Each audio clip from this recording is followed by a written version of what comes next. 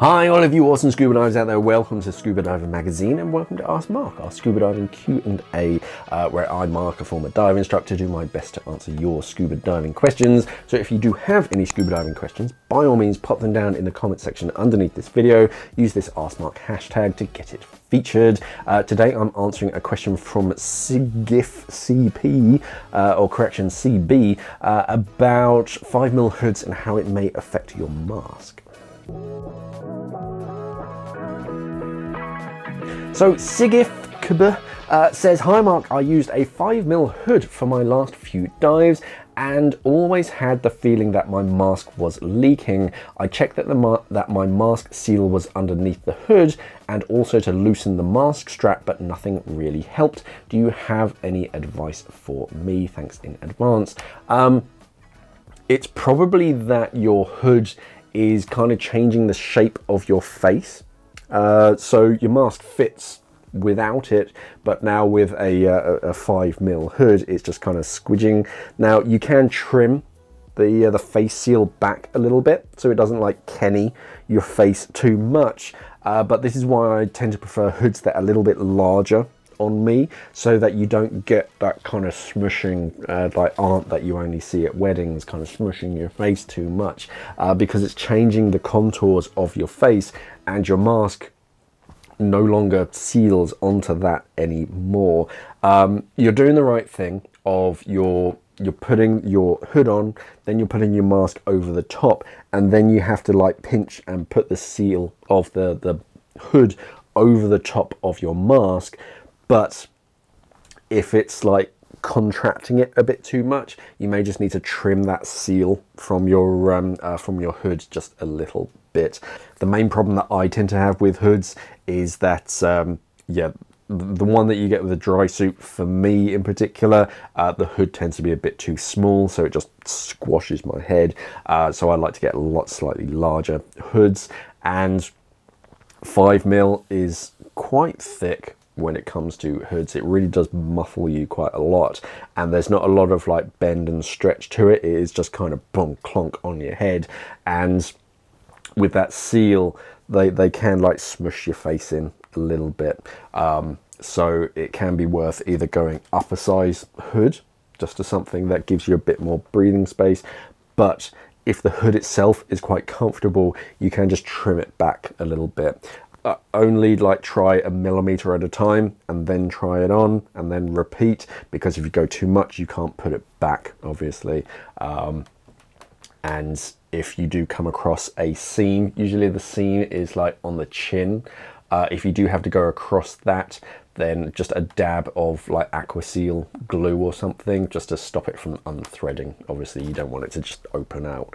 Um, but yeah, you, you, can trim them back as much as you like, um, but don't go too crazy. And that should hopefully help prevent it from like squidging your face in too much. Um, I think that's going to be it. It might just be that your hair has naturally like gone down because you put your hood on. It's not a particularly glamorous thing when you when you're putting your hoods on and everything, and uh, and then you're trying to put the mask on over the top. There is a non-zero chance that some hair has got in underneath that uh, that seal and you haven't noticed it. Um, there's also where if you're wearing gloves to like pinch that uh, that seal and get it over the actual mask seal that you have like pinched it. So it's slightly it's unlikely but you're still screwing around with thick clunky gloves around a fairly delicate seal. Um, but my main thought of like a continually leaking mask is probably yeah your, your hood is literally just changing the shape of your face. Um, so um, so that's probably the uh, the downside. And the way to counteract that is to yeah just trim the seal back a little bit so it doesn't squidge your face quite so much. Yeah you tend to find on most hoods that the the sealing surface around the face tends to be a bit thinner than the overall hood for this exact reason because if you just have like 7 mil of neoprene like all the way around just your face it, it really can be a bit confining. Um, and yeah, it's it's a raw cut all the way around that neoprene. So if you want to, you can trim it back. Uh, just be careful to make a nice smooth edge, and if you do cross over any um, any seams where the neoprene meets, uh, just put a dab of glue on that so it doesn't split. Uh, they usually glue it and stitch it, but it's better to uh, to just be extra careful, put a, a dab of um, Aquaseal on it um, or other like neoprene glue. Um, I think that's probably the uh, the problem that uh, that you are experiencing. Uh, otherwise, yeah, it really is just down to clearing your mask, um, or maybe getting a mask with a um, like a tougher skirt.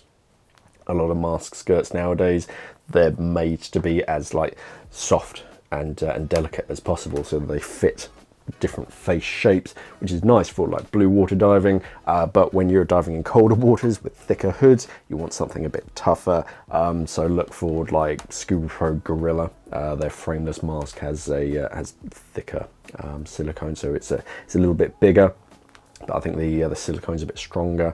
Um, Otherwise, yeah, just find a mask with a, um, a, a tough seal. But I think trimming that um, that mask, that correction, that hood seal back should fix your problem.